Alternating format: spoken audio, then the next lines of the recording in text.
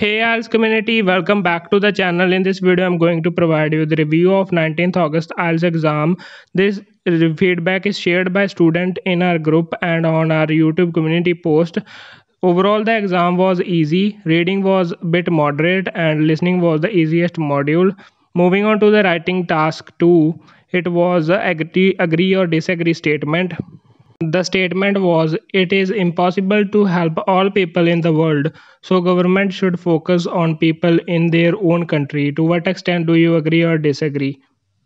Moving on to the task 1 which was a table chart and it is shown on the screen. The statement was the table shows information about the number of Australian people who visited the seven most popular destinations in 1999 and 2009. Lastly, the passage name was Does animals know about earthquakes? The statement can be different in real exam and a full video will be available soon. So subscribe to our channel. And if you are still preparing for IELTS, you can visit our Telegram group. I provide free guidance